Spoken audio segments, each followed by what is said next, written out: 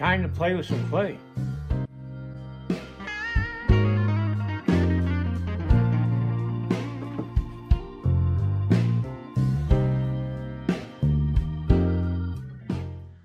All right, I've started by putting on the ribbons, and I'm doing the ribbons out of monster clay because again, it's uh, I can go a lot thinner on it and it holds its shape a lot better. So that's the reason why.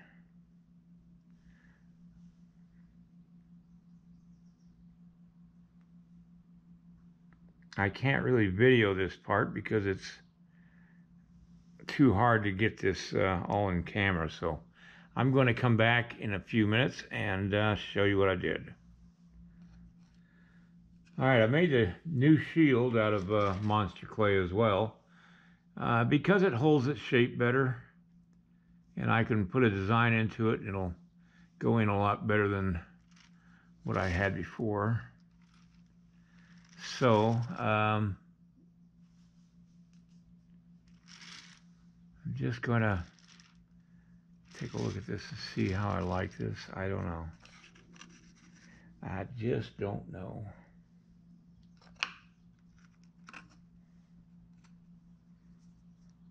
I got to make the feathers too. And I'm deciding whether I want to make them out of monster clay or what. I probably will make them out of monster clay.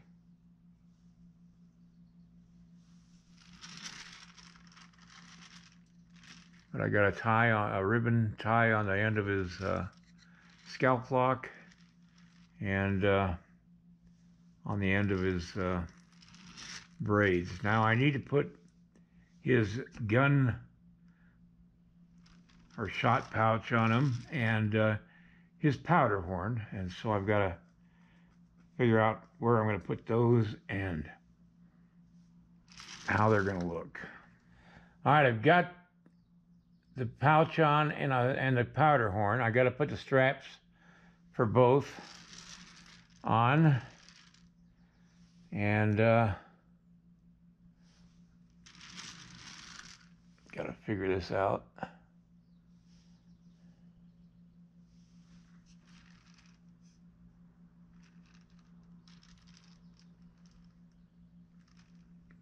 Okay, I'm to make the straps out of uh, monster clay as well. I ran this through the uh, pasta machine real thin, so I've got the strap material made. I just got to cut it. All right, I've got the uh, straps cut for the pouch. Now I got to move the braid out of the way so that I can wrap it around.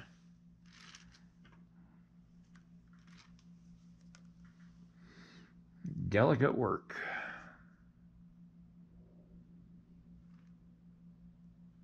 Whoop. Well, that didn't work out too well. All right. Now I got to take the strap, which has got to be the same width at the bottom as it is on the top, and attach it to the uh, pouch.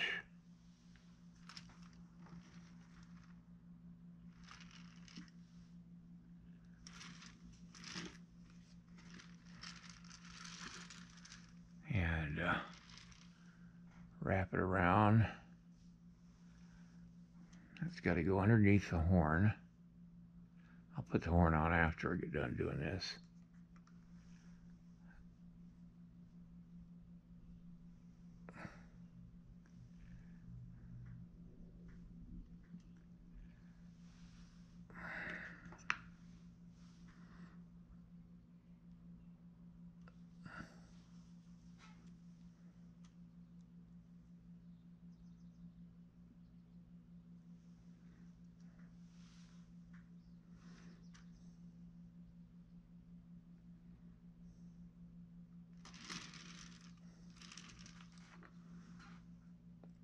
Now I'm going to fill in underneath that strap because I got to have it filled in.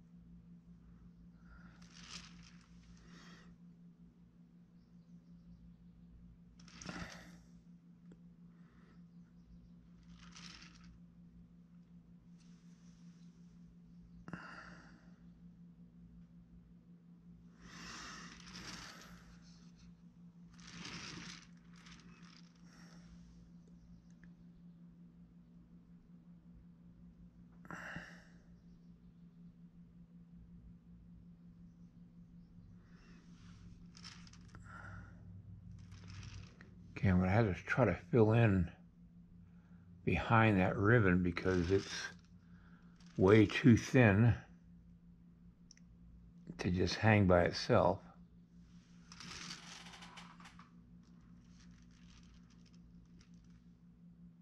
I moved the uh, scalp lock to the back of his neck instead of in the front of, you know, swinging over his shoulder and uh, I think that looks better. And I've got to finish this. Uh, get rid of that little nodule right there.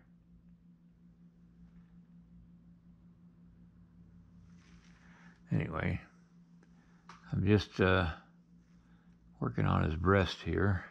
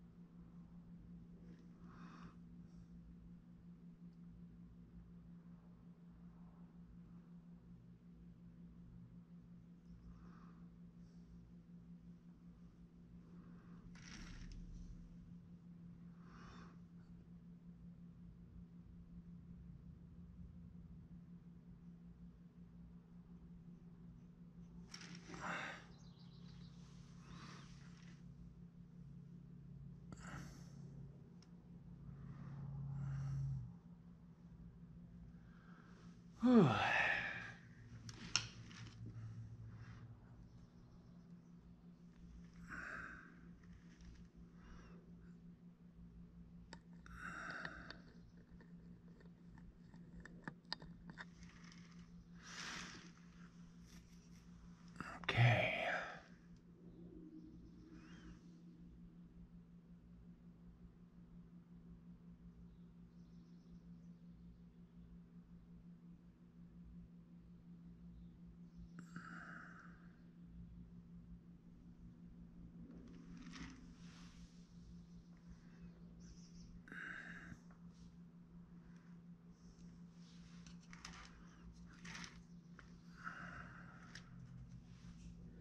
I just got this in the mail.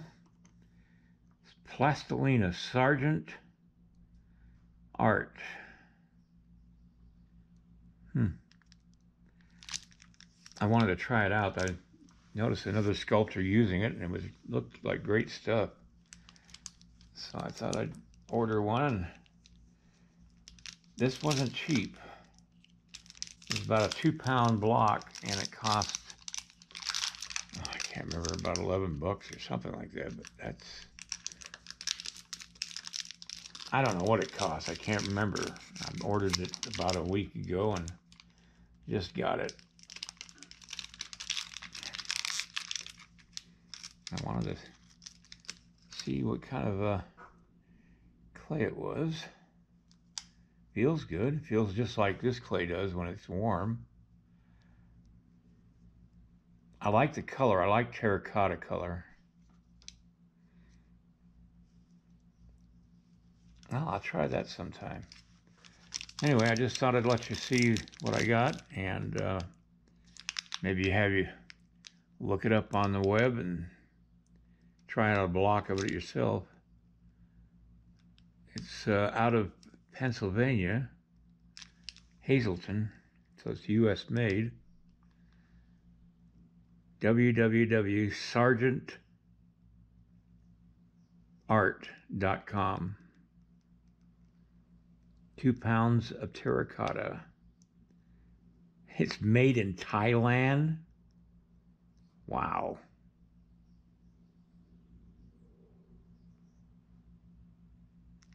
Hmm. I stopped off in Kuala Lumpur, Thailand on the way to Jakarta to do a one man show in Jakarta, Indonesia back in 1991, I think it was. Yeah, February of 1991. Hmm. Interesting it was made over there. All right. Enough of that. All right, I'm I've got the shield on and I've got the design on the shield. It's rounder than the other shield was. Let's see if I can find the other shield. I can't.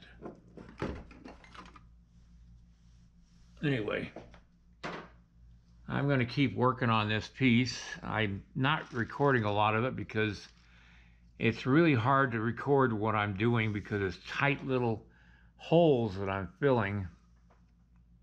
And uh, it's hard to record that because my hand or my head's going to be in the way and it's just not worth uh, trying to set up a camera angle. Oh, here's the old shield. Yeah, about the same size, just just rounder. This one was oblong. So, anyway, set that aside. So I'm not recording a lot of this, and uh, I'm going to keep working on this, and it's about all I'm going to be able to do today. Um, I'll work on feathers maybe tomorrow. I don't know. I've got uh, a couple coming in from out of state. Um, the gentleman bought one of my bronzes, and he's going to be picking it up from here. Uh, a piece called Sweetgrass. And uh, put a picture up here of it. All right, I'm going to continue working on this uh, today, and uh, I'll pick this up tomorrow. Sorry, there's just not much to see. it's just one of those uh, things, and uh, takes a lot of filling in to do a sculpture and have it come out to where you can cast it. I've got to fill in behind the the uh, strap right there. I got a hole right back in here between the uh, hair and his body, and it, it, the whole deal is is trying to make it look like it's not filled in. Um, that's the hard part. I'm thinking about putting a scarf around his neck because they did wear scarves uh, in case there was a dust storm or something like that. They could put it up around their mouth uh, and nose, just like the cowboys. Uh, so, if you look at some of the older pictures, you'll see a lot of the Plains Indians wore scarves. All right. And it'll add a little bit more to it, I think. Just a little more design and stuff. I just got to figure out how I'm going to do it. And so, all right, everybody. Have a great night, and I'll see you next time. Give me a thumbs up and share my video. And then check out my instructional DVDs, uh, the link down below this video. All right. See you next time.